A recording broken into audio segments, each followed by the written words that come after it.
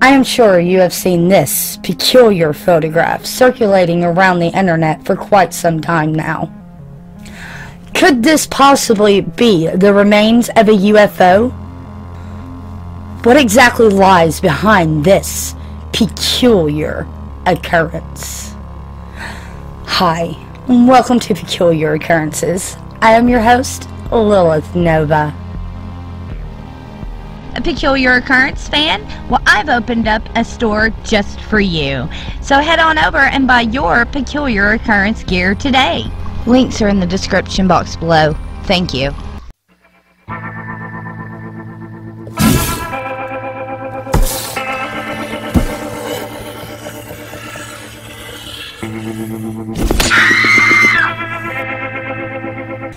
Pictures of the anomaly laying at the bottom of the Baltic Sea has been flying around the internet like wildfire with rumors that this could be the remains of a UFO. The divers exploring this UFO at the bottom of the Baltic Sea says that their equipment stopped working within 200 meters of the anomaly. Professional diver Stefan Hogeborn, part of the Ocean X team, which was exploring this anomaly, claimed that some of the team's cameras and satellite phones had quit working when they were directly above the anomaly and would only work once they sailed away. He was quoted saying, The Swedish diving team noted that there was a 985 foot flattened out runway leading up to the round object implying that the craft had skidded along this runway before crashing. But no true answers to this are clear. Member Dennis Asberg said, I am 100% convinced and confident that we have found something very, very unique. Is it a meteorite or an asteroid or maybe even a volcano? Or a base from, oh, say, a old U-boat from the Cold War? Which was manufactured and placed there. It has to be something. End quote. Rumors about the Baltic Sea UFO started circulating once the Ocean X team returned from an expedition in the summer of 2011 with one interesting sonar image. The group paid a follow-up visit to the site the following year try to get a better look at the object. But due to mysterious electrical interference, Ocean X was not able to get a good look at the submerged anomaly.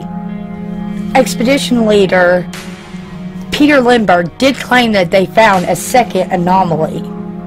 He stated, I confirm that we have found two anomalies.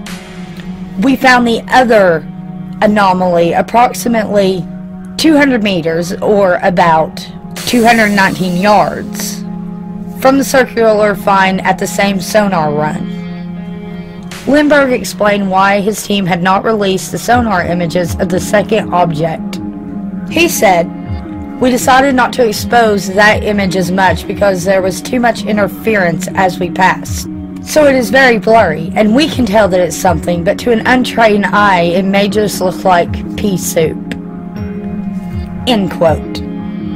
They claim their picture shows a 60 meter or a 200 foot diameter circular object with features resembling ramps, stairways, and other structures not produced by nature. I'm starting to notice there is something big with this thing in the number 200. It's kind of all through the story. Saying centimeters, feet, yards, 200, 200, 200. It's kind of weird kind of peculiar. However, neither of these images provided a reliable look at the Baltic Sea anomaly. First, the Ocean X team used a inexpensive sonar technique called side-scan sonar. While well designed to find shipwrecks, this technology is not designed to look at the seafloor, or at least to give a detailed image of the sea floor. Oh, I'm gonna butcher this name. Okay, I really am.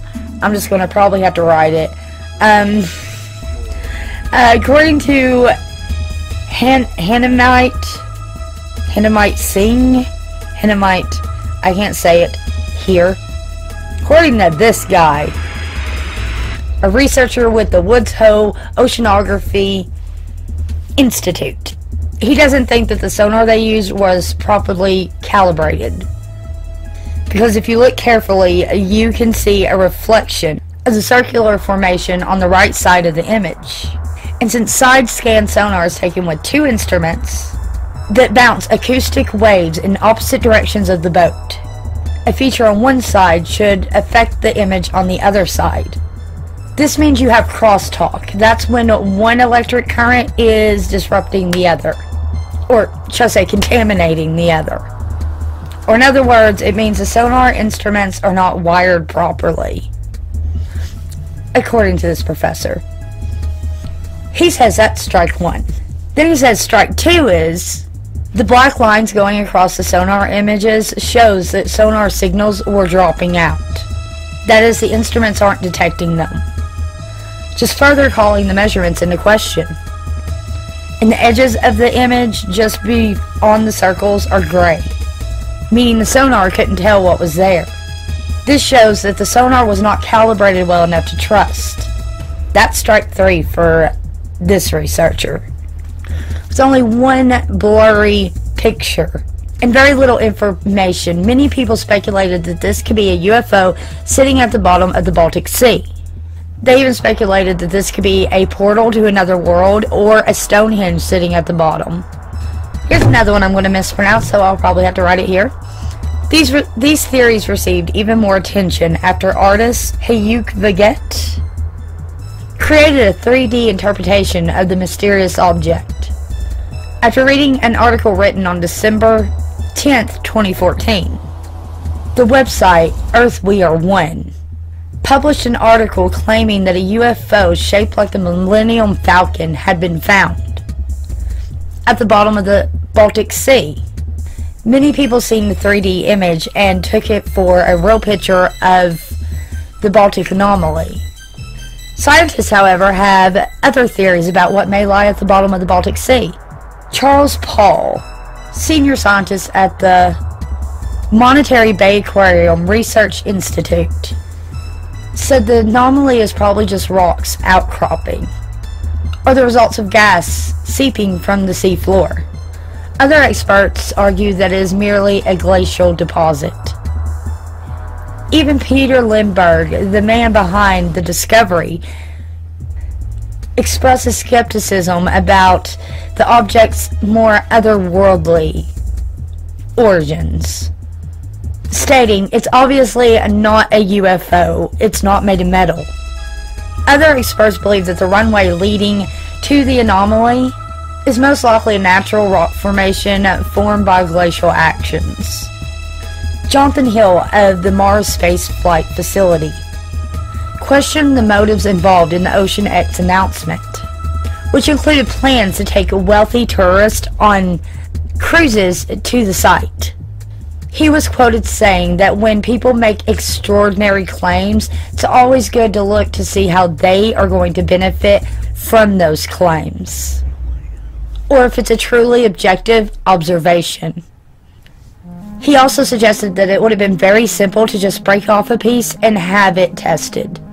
Saying the results showing that it's a rock would not have been beneficial to the Ocean X team. So what do you think about this peculiar occurrence? Do you think it's a UFO or perhaps a rock formation or maybe even something left behind from some ancient civilization? Let me know down in the comments below. And while you're down there, check my description box to links to my Teespring store for our latest merch. And don't forget to hit that thumbs up button, that uh, subscribe button, and hit that little bell button if you want to know when I upload. And until next time, keep your eyes peeled for all things peculiar.